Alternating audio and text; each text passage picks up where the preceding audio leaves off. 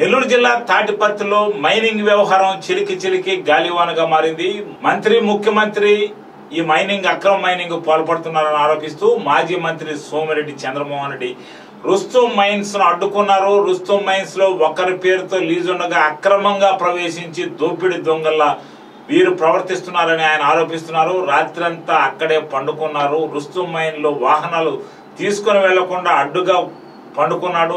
అక్కడే టిఫిన్ అక్కడే నిద్రపోవడం అక్కడే అక్కడనే కొనసాగుతున్నారు. అధికారులు వచ్చేంత వరకు తాను ఇక్కడి నుంచి కదిలేదు లేదని ఆయన భీష్మించి కూర్చున్నారు. అధికార పార్టీ నాయకులు దోపిడి దొంగల కన్నా ఘోరంగా తయారయ్యారని ఇతరుల మైన్లో ప్రవేశించి ఇరవై ఒక్క రోజులుగా కోట్ల రూపాయలు దోచేస్తున్నారని అక్రమ మైనింగ్ ఆపాలని కోర్టు ఆర్డర్ ఇచ్చిన ముఖ్యమంత్రి మంత్రులు భాగస్వామ్యం కావడం వల్ల అధికారులు కన్నెత్తు కూడా చూడడం లేదని మాజీ మంత్రి సోమిరెడ్డి ఆరోపించారు. శనివారం సర్వేపల్లి నియోజకవర్గం పదలకూరులోని తాడిపత్తి గ్రామంలో రుస్తు మైకా మైన్లో ఇరవై ఒక్క రోజులుగా అక్రమ దోపిడీ జరుగుతుందని విద్యాకరణ్తో కలిసి ఆయన పరిశీలించిన అనంతరం మైన్లో దోపిడీపై కడుపు మండి ఇక్కడే భీష్మించి కూర్చున్నానని అక్కడ మైన్ సమీపంలో ఉన్న స్థానికులు గిరిజనులు మహిళలు భయాందోళనతో ఇక్కడికి పరుగులు తీశారని ఆవేదన వెళ్ళబుచ్చారు మైన్లో పెద్ద పెద్ద రంధ్రాలు వేసి అక్రమంగా బ్లాస్టింగ్ చేస్తున్నారని దాంతో భూకంపాలు వచ్చినట్టు తమ ఇళ్ళు కదులుతున్నాయని పగలగొడుతున్నారని బ్లాస్టింగ్ కొనసాగుతుందని సోమిరెడ్డి ముందు కన్నీటి పర్యంతమయ్యారు. మేకలు మేపుకునే తమ పిల్లలపై బండరాయిలు వచ్చి పడుతున్నాయని మైకా నిర్వాహకులకు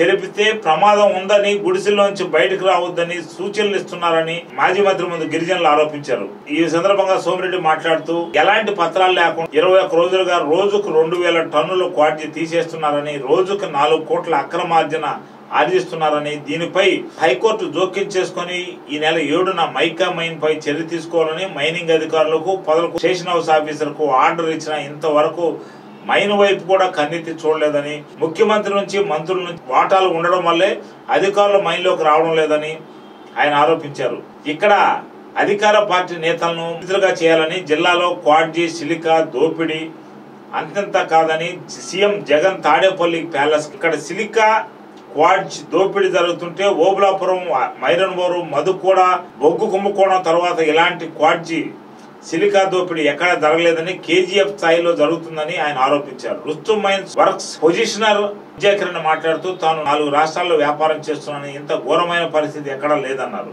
తమ మైన్లో అక్రమంగా ప్రవేశించి దోపిడీ జరుగుతున్న అక్కడ ఒక్క అధికారి కూడా పట్టించుకోవడం లేదని కన్నీరు మున్నీరయ్యారు తన మైన్ తనకు దక్కుంటే తన సోదరులతో పాటు తాను ఆత్మహత్య చేసుకోవాలని వచ్చినట్టు తెలిపారు. చాలా ఏళ్ళుగా మైన్లను స్లోగా నడిపిస్తున్నాం నడిపిస్తున్నామని తీరా ధర వచ్చే సమయానికి వీళ్ళు పడి దోచుకుంటున్నారని బాధపడ్డారు. నక్సలైట్ల ఏరియాలో కూడా తాము వ్యాపారం చేశామని ఈ విధమైన పరిస్థితి ఎప్పుడూ చూడలేదన్నది. ఈ కార్యక్రమానికి టీడీపీ నాయకులు తదితరులు హాజరయ్యారు.